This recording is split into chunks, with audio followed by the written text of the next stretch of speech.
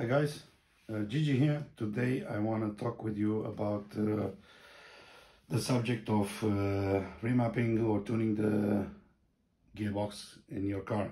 Uh, this can be a DSG, this can be a Mercedes uh, uh, VGS transmission or BMW ZF or whatever transmission you have in your car. Um, and what that means, remapping or tuning the, the gearbox means you have you go into the software, modify some some maps or parameters inside the, the gearbox, and it will change gears uh, a bit differently than it was from the factory. Uh, it can change higher up in the RPMs or lower, or uh, you will uh, change the uh, torque limiters in the gearbox, oil pressure, and, and stuff like that. So you can do a bunch of changes to make the car a bit more sportier, or if you are uh, a more eco-friendly guy, you will want to change it sooner and save some some fuel and, and some stuff like that. Um, and within this uh, subject, uh, I'm uh, confronted confronted more and more uh, with people that ask me to increase the clamping pressure of the clutches in the DSG gearboxes. People ask me more and more about um, changing the pressure on the clamping pressure on, on the clutches.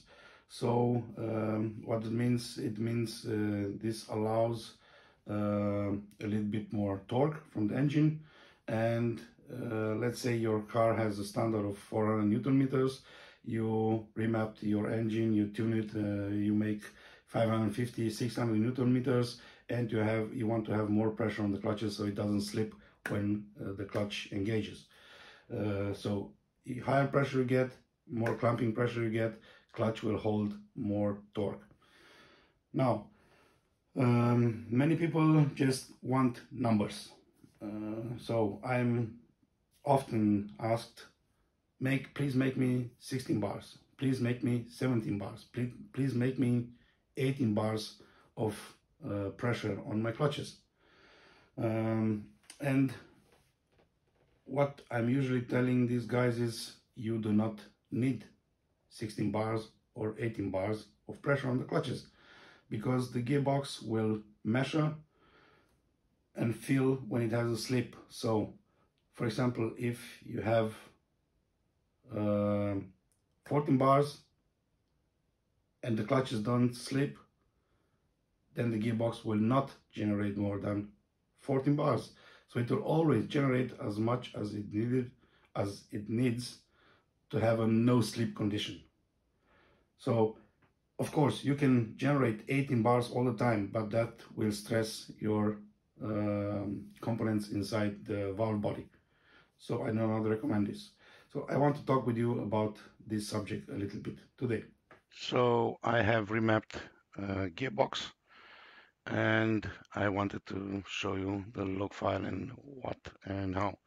Uh, we have here, this is a simple uh, map for the pressure, standard map for the DSG6 DQ250 and we can see we have two axes, uh, bars and torque in newton meters. At zero newton meters, it will generate zero bar, it will request zero bar. 20 newton meters, 5 bars, 250 newton meters, 11 bars, 400 newton meters, 13 bars. So this is a stock map for DQ 250 where uh, the limit of the torque is at 400 newton meters. And with 13 bars, it should be enough to hold the clutches under launch control, under normal conditions and whatever. So people ask me all the time, please make me 18 bars. Okay. Uh, and I always tell them uh, why do you need so much pressure? It's not needed. You will stress the components inside the valve body. Um, and in not so long time, your uh, mechatronic unit uh, can break. And I made a log file for a car uh, that is remapped. Uh, the car has around 700 newton meters and we can see the clutch pressures on 1 and 2. This is under launch control conditions. And if we scroll down, we can see at 670 Newton meters, it will generate 14.5, 14.6 bars. So nowhere near 16, 17 or 18 bars.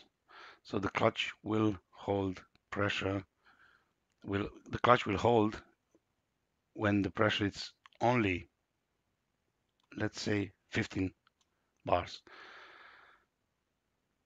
If the remap is made correctly, you can go with the standard clutch to around 600 newton meters without any problems.